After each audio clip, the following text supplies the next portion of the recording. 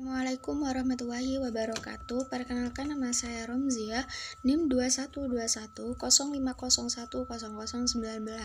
Saya di sini sebagai pemateri kedua akan menjelaskan yaitu yang pertama fungsi dan peran kewirausahaan, yang kedua karakteristik kewirausahaan, dan yang ketiga etika berwirausaha.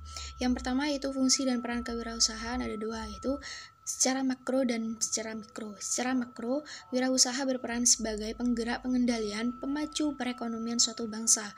Secara mikro, peran wirausaha adalah penanggung resiko dan ketidakpastian mengombinasikan sumber-sumber ke dalam cara yang baru dan berbeda untuk menciptakan nilai tambah dan usaha-usaha baru. Yang kedua yaitu karakteristik kewirausahaan.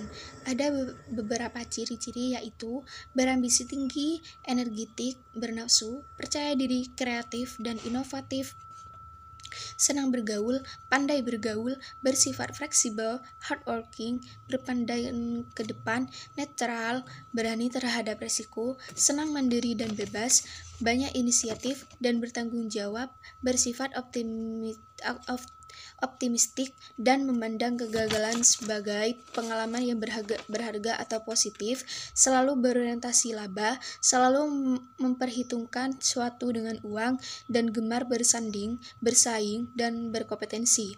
Yang ketiga yaitu etika berwirausaha, yaitu kejujuran, integritas, menepati janji, kesetiaan, kewajaran, suka membantu orang lain, warga yang baik, dan taat hukum, mengejar keunggulan dan bertanggung jawab.